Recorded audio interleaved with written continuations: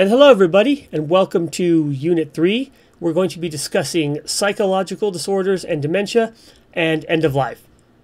Now, I know that sounds a bit strange as a set of topics to put together, um, and also it might sound a bit strange for a nutrition course, but they all do relate, and they are important for, the, for their impact on nutrition a couple other things to mention here very quickly before we go into it. Uh, these are very uncomfortable topics for a lot of people.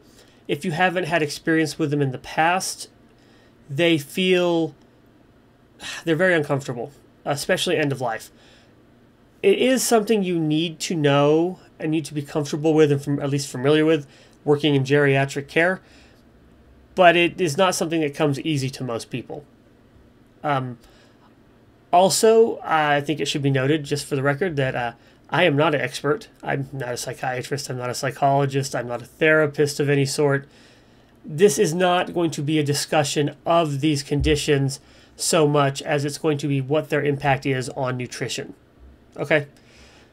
So, with those legal disclaimers out of the way, what we're going to do here is we're going to define some terms we're going to be using for the uh, throughout the unit we're going to compare and contrast psychological disorders and dementia in very broad strokes.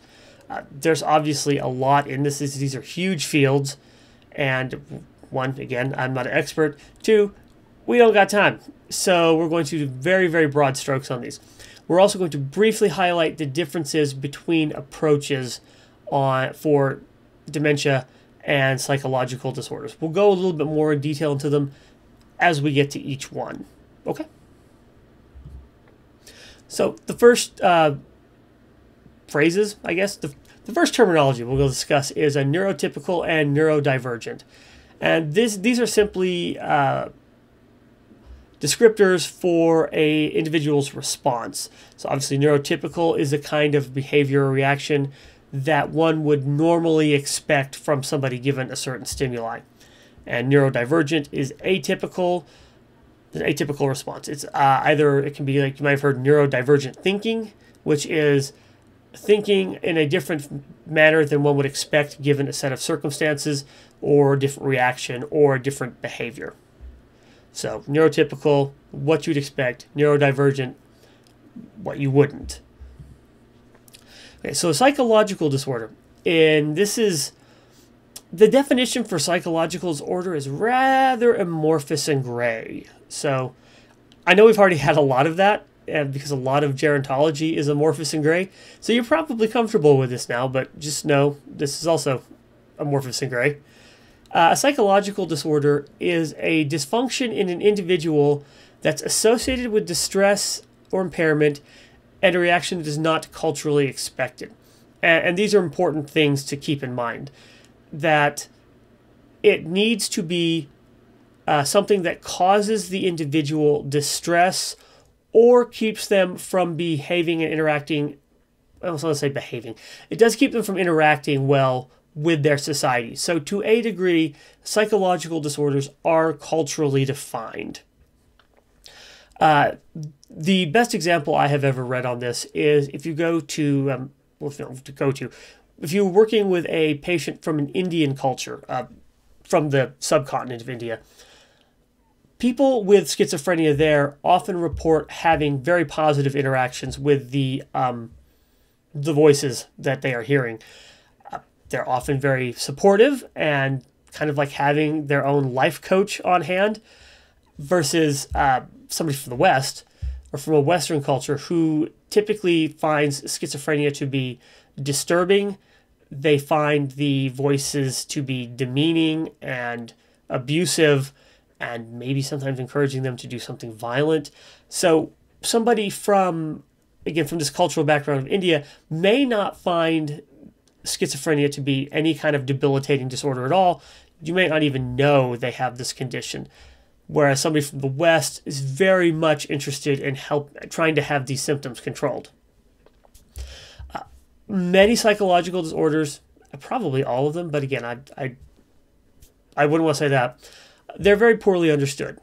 They likely have multiple causes, and a lot of them appear to be related to chemical imbalances, but not necessarily all of them, or it might be a functional imbalance that occurs later, we're not sure. Uh, dementia is any disorder of mental processes due to physical brain damage. These are typically the most common ones you see are memory dysfunction, personality dysfunction, or reasoning dysfunction. The difference between dementia and, and psychological disorders, the big one, is that dementia is related to physical degradation of the brain. It's almost you could almost think of it sometimes as chronic brain disease. The patient is not able to do things anymore because the brain physically can't do it anymore. The mechanisms are not there any longer.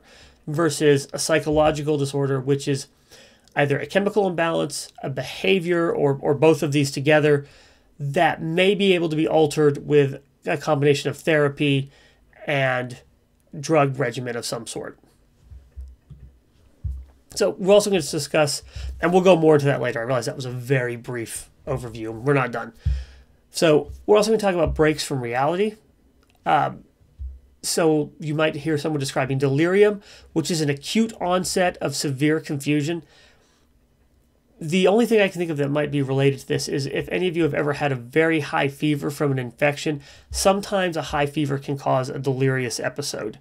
Uh, some drug interactions can. If you had a drug, uh, took a medication that did not agree with you and nobody knew that, you might have had a delirious episode. Suddenly, things don't make sense. You don't know what's happening. You don't know where you are. It's very, very scary. And it's very hard to talk somebody through a delirious episode because they don't understand what's happening. They're not able to process it in the moment. These can uh, represent as either hypoactive or hyperactive, and that's they're exactly what they sound like. Either uh, the reaction, if it's hypoactive, is a depressed, inactive, sleepy kind of reaction. Uh, and remember, that's depressed as in less reactive than you would expect, not depressed as in somebody's bummed.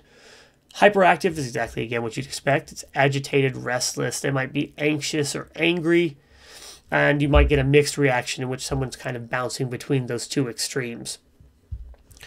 Delirium is often due to physical factors. Again, this might be a fever. It might be a um, a buildup of waste products. You may see uh, delirium in somebody with hepatic disease, for example. Um, might be a medication drug interaction of some sort. So often, once the physical factor has resolved, the delirium also resolves. It's not forever. It's just until whatever has caused what's triggered it goes away. A delusion is an incorrect or false belief that is firmly maintained despite contradictory evidence um, due to a medical cause. Now, delusion is one of those terms, kind of like theory, that has a scientific definition to it and then a general definition to it, and they don't really match. So, in this case, a delusion is a belief held that's contradictory, and this is due to a medical reason. This is not because someone fell down a social media silo and is only getting all of their news from some extremist group, okay? This is a medical issue either due to psychological factors or um, dementia. A hallucination is an acute instance or perception of something that does not exist. The most common one is auditory, the most common type of hallucination. It can be visual, it can be everything. Any sense you have can misfire, I suppose. You can get a hallucination from any sensation any sense you have that is giving you incorrect information. And very quickly, we're going to talk about interventions. We're going to go back into this later. Um, the broadly speaking, the interventions are broken down into reorientation or refocusing, which is a direct confrontation of incorrect beliefs. This is talking to the patient and saying, "No, we've discussed this. That's not true." Uh, redirection is just distracting the individual with something else. And validation is agreeing with the patient, just rolling with whatever it is that they're saying. Um, again, we'll go into this more as we go on, but generally speaking, Reorientation and refocusing is used with patients with psychiatric disorders, and redirection may be used with dementia. Validation is typically used with dementia patients. Right, that is our brief overview. I will catch you guys in the next one. Y'all have a good day. Bye.